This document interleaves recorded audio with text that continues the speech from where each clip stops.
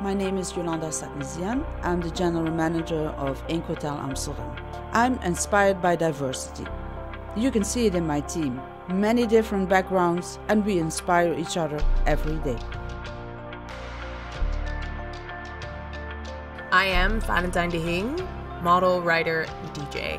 What inspires me is seeing and meeting people who are 100% their true self.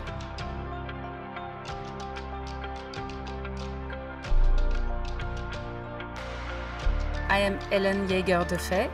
I'm winemaker in Burgundy. So I am inspired by nature because it's my everyday work. My name is Annelies Damen. I photograph women all over the world, especially in Africa, where I meet strong, proud, beautiful women for my photo series.